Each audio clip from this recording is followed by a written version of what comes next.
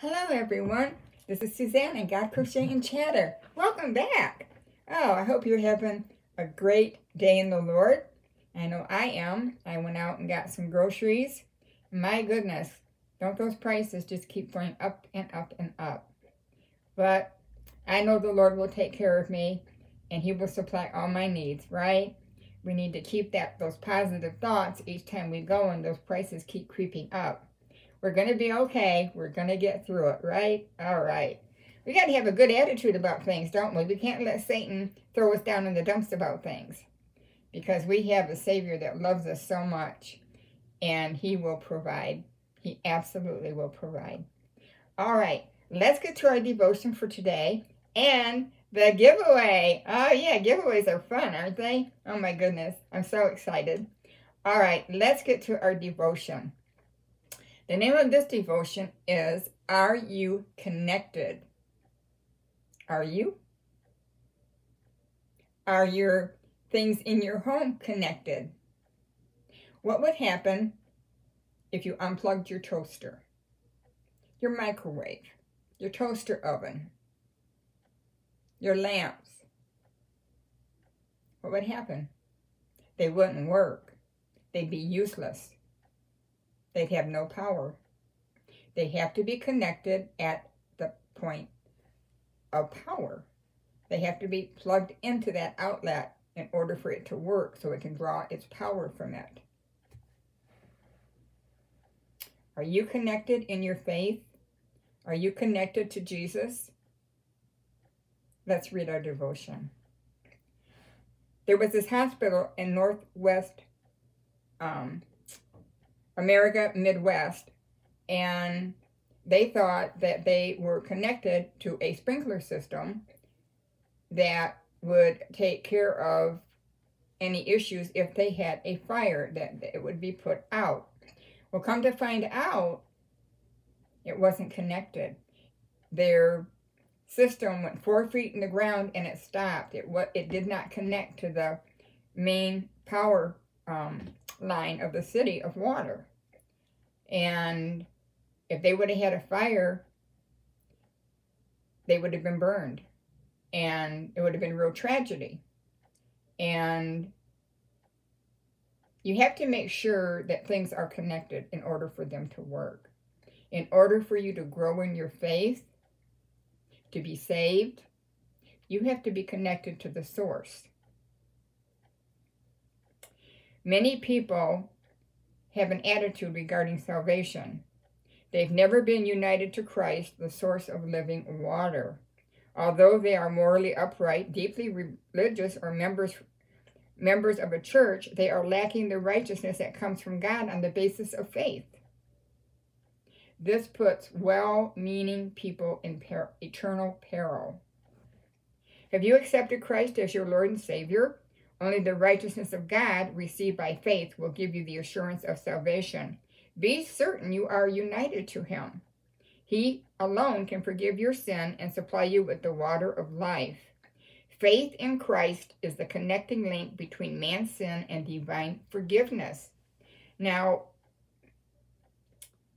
as Christians, when we pledge our faith and our belief in Jesus, he forgives us of our sins, and we are connected to that living water, that power source. And we have to stay connected. It gives us access to the Holy Spirit, to the Father, and it, it helps us grow. And also, we need to study daily. We need to pray daily. Even if your prayer is a one-liner, when you're out driving, Lord, keep me safe on the roads today that I get to and from where I need to go and return home safely. Thank you, Lord. Lord, thank you for these wonderful groceries I was able to buy. Lord, isn't it a beautiful day today when you're out walking? And if you don't know what to pray, you can pray this. Our Father, who art in heaven, hallowed be thy name. Thy kingdom come, thy will be done on earth as it is in heaven. Give us this day our daily bread, and forgive us our trespasses, as we forgive those who trespass against us. And lead us not into temptation, but deliver us from evil. For thine is the power, and the glory and the kingdom forever and ever. Amen. Right? So that was a prayer that when the um, apostles asked, How should we pray? That's the prayer that he said. And it's a powerful prayer, it's a comforting prayer. Sing, sing spiritual hymns to yourself. If you can't memorize them, if you have an Alexa, have her play a song. And buy some CDs, musical CDs. And just fill your home with with with good Christian songs throughout the day. Oh, it will help lift your spirits like none other. I am currently making making a list on Alexa. Um, Alexa, turn off. Um, you can't say her name because she comes on right away and wants to start doing something. So I have to be careful saying her name. So, gee, wouldn't it be great if us humans were as alert when we said our name or say a name, they would immediately respond to us. Well, there is a name that does, and that name is Jesus. And Jesus will always answer anything that we have to ask. He will never leave us or forsake us. So stay connected. Your appliances, your phone, everything else in your house that, that runs on power has to be connected to a source. The best source of power to be connected to, of course, is Jesus Christ our Lord. All right, everyone. Are you connected? All right, I hope you've enjoyed that devotion for today. All right, let's talk about the upcoming giveaway. All right, let's get the stuff out of the way first. You must be 18 years old to enter. You must leave a comment in the comment box. YouTube is not affiliated with us or any yarn company. It's open to the USA only.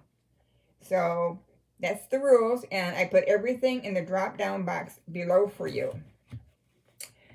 The giveaway will start today, March 2nd, and it will run through March 19th at midnight. On March 20th, a winner will be drawn. Hmm, and what will that winner receive, Suzanne? The winner will receive this crocheted heart coaster, this pot holder, and a $25 gift card. And I'll let you choose if you want it from Michael's or jo Joann's. So, yeah. Or if you just want a general gift card. So, yeah, you let me know.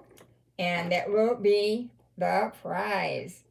So, in the comment box below, I want you to type in